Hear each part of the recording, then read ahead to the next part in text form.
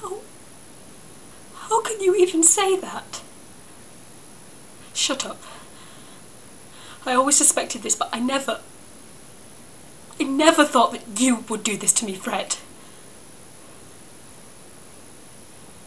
Do you think I'm the little Red Riding Hood who doesn't know where the wolf is leading her? That's not funny. I know what you're doing. And I'm not going to take your bullshit anymore. Girls do talk, you know. Have you been doing things behind my back? I can't take this anymore. I'm breaking up with you. What? Who are you talking about?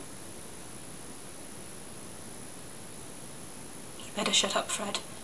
You don't know anything about this. Have you been stalking me? It is not like that, Fred. You just make everything so weird. You say you understand the human mind, well, have a think about your own for once. Fuck off, Fred.